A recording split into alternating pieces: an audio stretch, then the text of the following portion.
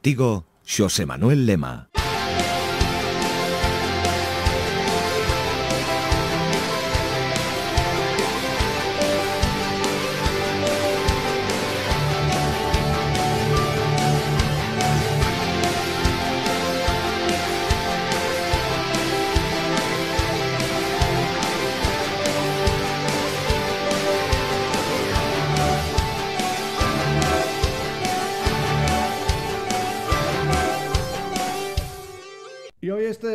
Está dedicado íntegramente a ese disco que estábamos esperando con cierta inquietud del alma, disco que tiene también un claro acento gallego. Manuel Sebane, muy buenas. Muy buenas, Meo, ¿cómo estás? Eh, yo, yo bien, digo bien, ¿no? Cuando digo que esto tiene mucho carácter gallego y mucho carácter coruñés. Bueno, siempre ya he dicho en alguna otra ocasión que, que realmente es un, es una, una banda que nace en Galicia y, de ahí vamos al resto, ¿no? Entonces, bueno, eh, lo cierto es que eh, tanto mi compañero Manuel Ramil como, como yo, pues eh, residimos ahí en, en Galicia y, bueno, de alguna forma se puede decir que es made in, made in, made in Galicia, ¿no? El disco. Voy a, comenzar, voy a comenzar con toque filosófico. ¿Tú crees que existe la morriña? ¿Qué existe, perdón? La morriña, la morriña. Ah, sí, yo de hecho la descubrí una vez que llegué a, Galicia. Tú sabes que no soy de nacimiento gallego. Ya, ya. Pero, pero me mudé allá ya hace cinco años y fue cuando de verdad entendí lo que era la morriña. Eso, eso sí te lo digo porque cada vez que tenemos que salir por ahí a tocar o lo que sea, es, a los cinco minutos querer volver ya a casa. O sea que, que existe, existe. Ahora hablamos del disco, pero mientras hablo contigo y para no perder el tiempo, estoy preparando aquí un pulpito del área de camarines. ¿Tú cómo lo prefieres? ¿A la brasa, a feira, en guiso? ¿Cómo lo prefieres? A feira siempre. Muy bien. Manu, ¿has sido tú eh, el liante de todo este proyecto? Bueno, eh, sí, el primer ideólogo sí, pero, pero es verdad que luego todos mis compañeros eh, bueno, hemos, al final hemos hecho el trabajo un poco entre todos, ¿no? Eh, creo que sin todo el granito de arena que, ha aportado cada uno de los de los miembros del grupo, creo que sería un disco muy distinto, ¿no? Ya sea por el mismo, eh, bueno, por la, por, la misma, el, mismo carácter que tiene, por ejemplo, Ramón Colavoz, su personalidad, como el, el tipo de arreglos que pueda hacer Manu, por supuesto la producción de Ramil, que el disco se ha grabado en los, en los estudios Tercera Planta, en Ares, mm. y, pues sin su producción no sería el mismo disco, sin sus arreglos al piano, eh, sin, sin, en fin, el toque de, de Jesús o, las baterías de David. Bueno, sería otro disco distinto, pero desde luego no sería el que tienes en las manos, ¿no? Entonces, creo que esto, eh, aunque haya nacido en una primera instancia eh, por causa mía, pero, pero creo que, no, tendríamos este disco si no fuera por, cada uno de nosotros. Da la impresión de que todo esto se gestó a fuego lento, no fue un arrebato, no fue un calentón. No, no, fue muy, muy, muy a fuego lento, eh, creyendo mucho en ello y tratando de, bueno, de disfrutar del proceso y de no forzar las cosas, porque al final eh, se ha llevado, bueno, pues varios años hasta que lo hemos podido hacer, pero no por nada en, en concreto, ¿no? O sea, es decir, pues cuando se han ido dando las, circunstancias y cuando han sido los momentos apropiados y las agendas han estado más libres o más liberadas, en fin, eh, creo que lo bonito, tampoco nadie nos estaba metiendo ninguna prisa, con lo cual eh, lo podíamos sacar cuando quisiéramos y bueno, así ha sido. Es decir, nos hemos tomado toda la libertad del mundo para, tener el tiempo que necesitásemos y quedarnos bien a gusto con lo que queríamos mostrar. Una persona que, ha logrado muchas cosas, que ha vivido muchos momentos y ha tocado muchos escenarios, en este caso pues con Mago de Oz, por ejemplo, ¿qué espera conseguir? ¿Qué espera sentir con Del Alma? Bueno, al final es un proyecto también, eh, bueno, yo hablo por, por, por mí, ¿no? Pero creo que al resto de mis compañeros les va a pasar, que lo sentimos como un proyecto nuestro eh, personal, de manera que las vivencias pueden ser quizá diferentes o las eh, sí, los sentimientos que puedas tener, ni mejores ni peores, simplemente diferentes, a entrar a lo mejor una banda ya formada o lo que sea, ¿no? O sea, son, son experiencias o maneras de sentir las cosas bastante diferentes. Entonces, ¿qué esperamos desde el alma? Bueno, pues esperamos eh, sobre todo que sea gratificante para, para, para nosotros podernos quedar a gusto como músicos que somos, como compañeros que somos, intentar que llegue a, a los máximos oídos posibles porque al final uno cuando, cuando se toma con tanto cariño un disco o, una banda o lo que sea, al final esperas poder compartirlo con un millón de amigos, ¿no? De, en cada ciudad, que, a los que ver una vez al año y tocar para ellos. Bueno, es, un poco lo que, lo que buscas, que sea duradero y, que sea, bueno, eh, que lo podamos disfrutar todos, tanto los músicos como los, o la gente que se quiera subir al carro, ¿no? Los fans o lo que sea, el público, vaya. Es un disco evidentemente para escuchar, pero ¿tú cómo definirías este trabajo de Del Alma? Eh, bueno, es, creo que hemos conseguido, y es lo que te decía, eh, por la particularidad que tenemos cada uno de, los músicos que hemos estado ahí y del sonido que ha conseguido Ramil a los mandos, eh, creo que hemos conseguido tener un, y es difícil ya decirlo o conseguirlo con un primer disco, pero quizá hayamos conseguido tener ya una identidad propia, ¿no? O, bueno, una manera de hacer las cosas, porque al final, mira, las canciones, unas de las otras, eh, ahora tú que has escuchado ya el disco, verás que, que muchas no, no son bastante diferentes unas con otras, ¿no? Sin embargo, son muy fáciles de hilar, eh, bueno, a nivel carácter, ¿no? A nivel bueno, creo que hemos conseguido eso, que, sea un disco muy homogéneo en ese sentido, sin que tengan que parecerse unas canciones a otras, vaya.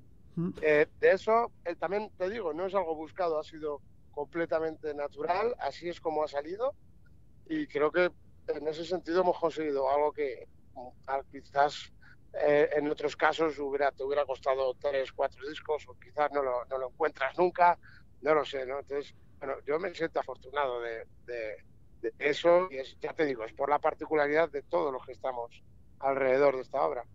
Estamos con Manuel Seoan en Lobos de Metal. Tengo una curiosidad. Eh, ¿Se discute mucho en, un grupo para elegir cuáles son las canciones que formarán parte de los lanzamientos previos de los vídeos? Eh, no, bueno, al final siempre haces una mesa redonda con todos los compis, ¿no? Eh, haces un poco de, de debate para, para, bueno, pues que cada uno ponga un poco sus preferencias y después es como todo, pues es llegar a, bueno, pues eh, argumentar el por qué a lo mejor es mejor una decisión que otra.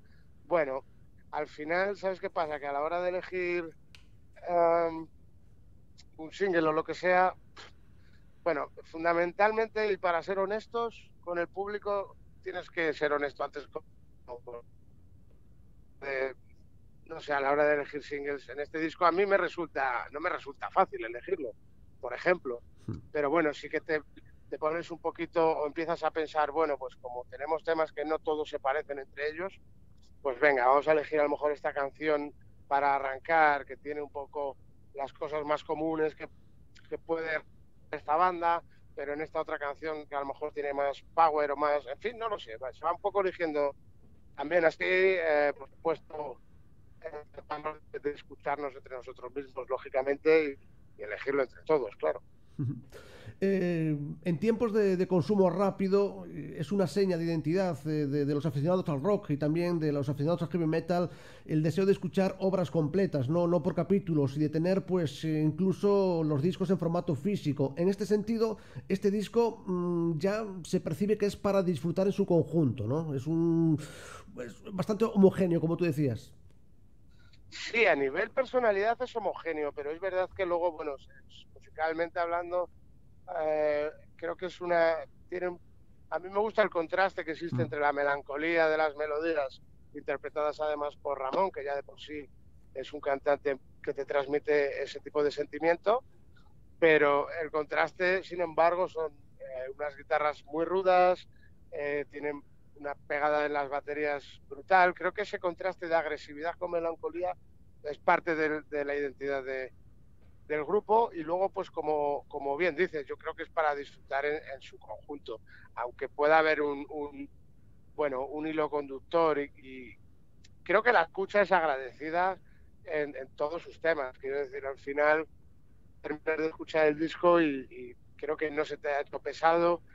Creo que es una escucha muy agradecida, a pesar de que son eh, algunas de las canciones o pueden resultar más densos, más densas por arreglos o por duración o lo que sea, pero en líneas generales creo que la gente lo va a poder escuchar, bueno, pues muy a gusto y muy tranquilamente y, como bien dices, ya es difícil, ¿no? En la, en la era que vivimos de, consumo rápido y de, y de, y de bueno, de, todo a una, ¿no? Pero, pero bueno, creo que la gente sabrá disfrutar de, este disco. También hemos tratado de cuidar, evidentemente, el, el formato en que se presentaba el, el, disco. De hecho, bueno, ya se ha agotado, ya se agotó, tres, cuatro días antes de salir el disco ya se agotó el formato especial, la edición especial, con lo cual, bueno, pues lo vamos a, a volver a reeditar pues, para que la gente lo tenga, porque, bueno, trae mucho contenido adicional más allá de, de las canciones, ¿no? Con lo cual, bueno, es, es, buena señal, la gente nos está apoyando y el feedback está siendo muy, muy, muy bueno. Esto es otro, otra característica, ¿no? Antes de saltar al campo a jugar el partido, ya teníais a la parroquia ahí arropando, ¿no? Sí, creo que se ha generado un buen hype en ese sentido, ya desde que publicáramos el pasado 13 de septiembre eh, la primera foto, creo que ya, bueno, se generó bastante expectativa, lo cual, bueno, de hecho, para, para, yo, vamos, fui el primer sorprendido, ¿no? Porque, hombre, siempre esperas causar una buena sensación, pero, pero ha sido realmente arrollador, ¿no? El, cariño que hemos recibido tanto en, en Galicia como en el resto de España como en un montonazo de países en, el continente americano. Entonces, bueno, es abrumador y, lo único que hace esto también es, eh, bueno, expresar nuestro agradecimiento y, bueno, y, ponerte las pilas, ¿no? Al final, luego el producto que entregas a cambio les tiene que sacar a ellos, joder, esa sonrisa, ¿no? Y ese, y por supuesto a la hora de, realizar los conciertos, pues que, en fin, devolverles un poquito de todo ese, cariño que nos, que nos han dado desde el primer momento, vamos. También mm, no quería dejar a un lado unas letras eh, bastante profundas y que invitan también bastante a la reflexión, ¿no? Sí, bueno, no son letras quizá que, puedan resultar, son letras que llevan un poco a la reflexión, a, a, bueno, también sabes qué pasa, es evidentemente todas las canciones llevan un hilo conductor, pero también porque evidentemente hay una historia sobre un personaje. De hecho, te diré que está basado realmente en el sanatorio de Cesuras, que está ahí, no sé si lo conoces. Sí, señor.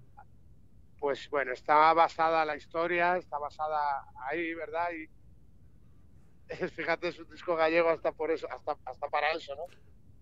Pero bueno, más allá de que hay un hilo conductor en, electrísticamente hablando, también es importante que una canción sacada de ese contexto tenga un significado, ¿no? Y la gente se lo pueda llevar también a su terreno o lo que sea. Eh, bueno, creo que son también letras, igual que las canciones, tampoco son quizá de primera escucha y ya, sino que con las escuchas te vas dando cuenta de nuevos matices y demás. Pues creo que con las letras pasa un poco, pasa un poco lo mismo, ¿no? creo que son letras que, tienes que pararte bien a, a, mí, son las letras que me, que me, gustan leer, por otro lado también, con lo cual, bueno, eh, es para que efectivamente el, eh, mientras te pones la canción, cojas el libreto, vayas leyendo la canción y vayas tratando de meterte o envolverte dentro de, de, de toda esa vorágine que es del alma, ¿no? Uno de, los, eh, uno de los aspectos que me llamó la atención al principio cuando vi una canción de siete minutos, otra, dije yo, uff, pero cuando la escuchas ¿no? y ves que se te ha pasado rapidísimamente los siete minutos y quieres volver a repetir, eso es un sinónimo de que la canción te engancha, ¿no? de que no te aburre, porque no es fácil eh, llamar en, bueno, llevar un viaje de siete minutos, como dije antes, con tantas cosas que, tan rápidas que, que vivimos, ¿no? Sí, sí, bueno, al final cuando haces un tema también de larga duración, pues eh, imagino, a mí así al menos eh, me lo pide el cuerpo, ¿no? Luego cada compositor o cada autor tiene su, forma de, expresar su, su, movida y su historia, ¿no? Pero, pero es verdad que yo, en mi juicio, pues cada, si, vas a realizar una canción larga, de larga duración, pues la tienes que hacer muy dinámica, tienes, tiene que haber cambios, tiene que, fin, cambios de tempo, cambios de compás, eh, cambios de tonalidad, yo qué sé, no, no puedes tirarte 10 minutos, ¿no? Bajo una misma melodía, quizá, ¿no? Entonces, bueno, no es fácil, ¿eh? Pero al final es que uno al principio tampoco dice, voy a hacer una canción de 10 minutos. No, simplemente, o en mi caso a mí me sucede, simplemente vas haciendo eh, y bueno, cuando, cuando coges el papel en blanco, pues no sabes cuántas páginas vas a necesitar para llegar a ese final, ¿no? Eh, en este caso, igual, yo no, no, me voy fijando demasiado en, uy, pues quiero hacer una que dure 20 minutos. No, no. Bueno, pues si un día hago una canción y me voy liando, me voy liando, me voy liando y, y acaba durando 20 minutos, pues durará 20 minutos. Pero mis compañeros me, me darán de, de leches. pero, pero bueno, es así, ¿eh? No, no, también hay que, bueno, intentar montárselo para no aburrir al oyente en, esos 7, 8, 10 minutos. ¿no? Ya que se consiga o no. Pero bueno, yo esperamos que, o espero que, en este caso a la gente le guste y, bueno, también deseoso de escuchar o tener un feedback de, de, la gente que nos vaya comentando, por supuesto, en, redes sociales o, o, como sea, ¿no? En los conciertos, que, que nos pueda ir comentando qué le ha parecido el disco, claro porque ya mm, lo dijimos antes, se despertó un interés, el disco pues creo que haremos aquí un comentario canción a canción y haremos pues nuestra reseña sosegadamente, pero el disco gusta, el disco va a ser un auténtico éxito, pero ya también hubo ya interés por, por gente que quiere que toquéis en, en sitios, ya se está moviendo la cosa, ¿no?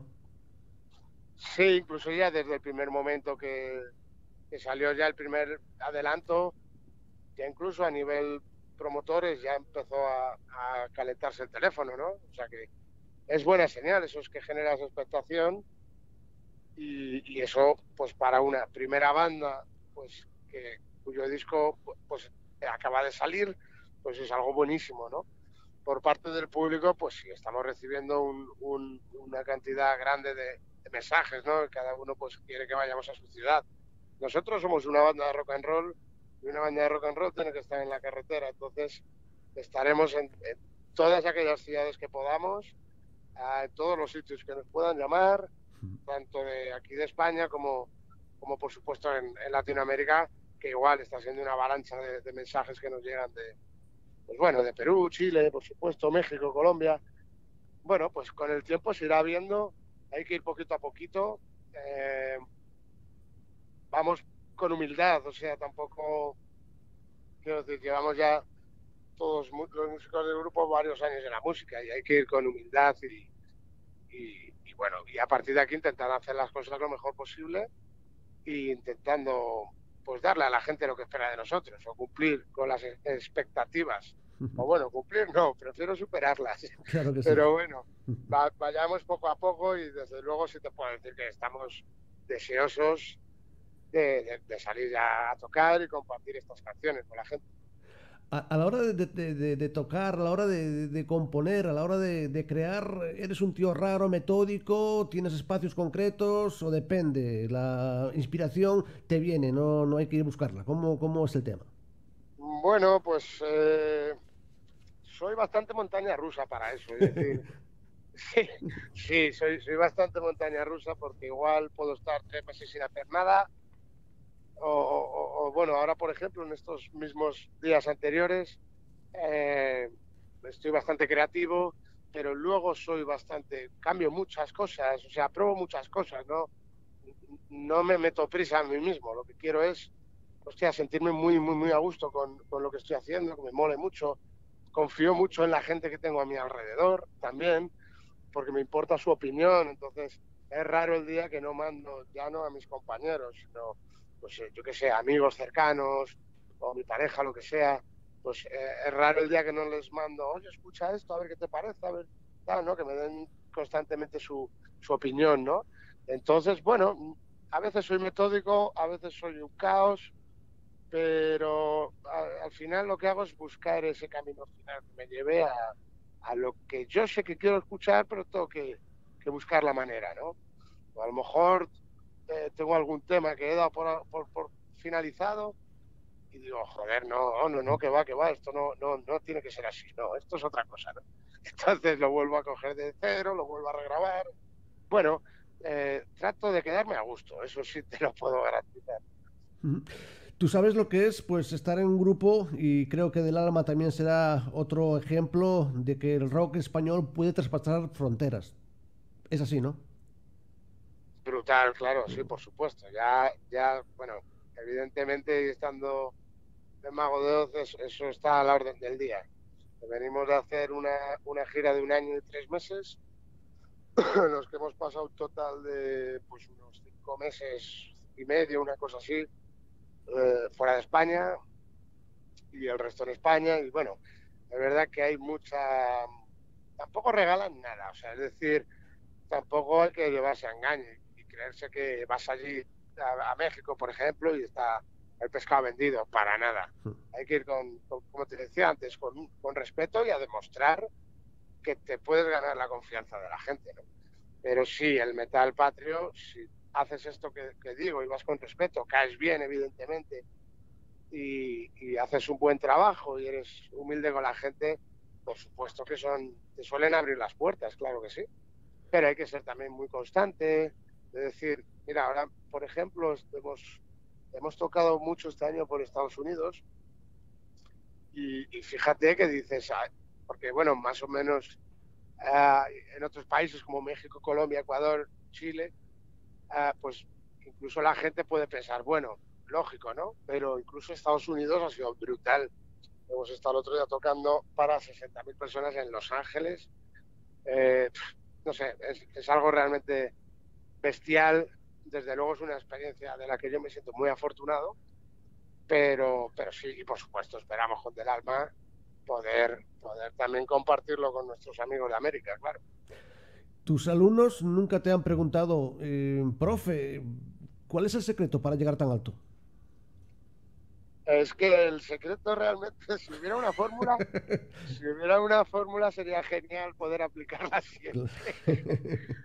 Pero como no la hay, te diré que desde luego la constancia, eh, la ilusión y nunca dejar de creer en ti mismo. Esto, yo creo que estos tres puntos son quizá los tres que más a mí me han ayudado, porque eh, el mundo de la música, pero bueno, ya como cualquier otro mundo, eh, ya, no, ya no es exclusivo de la música, pero es muy duro, es duro y te llevas muchos bueno, muchos desengaños, se pasa mal, pero es que también se pasa maravillosamente muy bien, ¿no? Entonces, uh, yo desde luego es mi vida, eh, jamás me podría arrepentir de haber elegido este camino, ¿no? Pero bueno, sí diría que, que esos tres factores, ¿no? Constancia, ilusión y, y no dejar nunca de creer en ti. Eh, lo que parece que está claro es que cuesta más a un grupo de rock o de metal eh, escalar eh, hacia arriba que, por ejemplo, en otros estilos, ¿no? Bueno, depende de donde tú te quieras poner la meta o donde tú quieras o creas que reside el éxito, porque, no sé, para mí el éxito evidentemente es, una fortuna poder tocar delante de grandes audiencias, pero, pero también lo es poder tener o poder sacar un disco como, como es este primer disco de Del Alma. Ya a partir de aquí yo no sé dónde nos va a llevar la carretera, pero para mí es importante disfrutar ya del éxito de tener este, este disco en la calle, ¿no? Entonces, ah, bueno, claro, si todo el mundo valora el éxito en, en, llenar un, un, estadio, en llenar la arena de la Ciudad de México, pues claro, eso está claro que no todo el mundo lo puede hacer, claro, eso, es evidente. Pero, eh, bueno, hay que saber disfrutar de cada momento del camino y, bueno, si un día llega la oportunidad o pasas de tren y lo, tomas, pues es genial, desde luego. Pero vamos, tampoco hay que, que comerse mucho la cabeza con eso. Ya te digo, yo creo que lo más importante es disfrutar de, del pasaje. Los temas de, este disco que, estamos disfrutando, que estamos eh, escuchando, pues fueron. Alguien dijo, hey, parar el carro, si no, vamos a grabar dos horas, o más o menos fue ya lo que. pues es que, pero es por lo que, pero es que es por lo que te decía antes. Mira, estaba la semana pasada terminando una canción. Y claro, yo no me fijo en la duración, ¿no? Y digo, pero joder, otra vez seis minutos y medio de canción, tío. Ya cuando, cuando la dejé terminada era la de no, no puedo creer, otra vez seis minutos y medio. Yo, pero ¿por qué no haré una canción de tres minutos y medio? No, pues no. Pues bueno, eh, no, fue así. O sea, y, aún es verdad que hicimos un proceso de selección con, con, con Manuel Ramírez, que es el productor de la banda. hicimos un proceso de selección porque había bastantes más canciones para, para ser incluidas. Pero bueno, creo que eh, para la historia que queríamos contar es, es un grandísimo inicio y, bueno, pues para un siguiente disco habrá otras tantas canciones. ¿Grabar es un agobio o también se pasa bien? ¿Grabar? Sí, grabar en estudio, eh, tantas horas. Eh. A mí, me, encanta porque al final vas viendo. Hmm. Sí, es otra parte de, de, este mundo de la música. A mí me encanta, ya te digo, es disfrutar de cualquier tipo de proceso.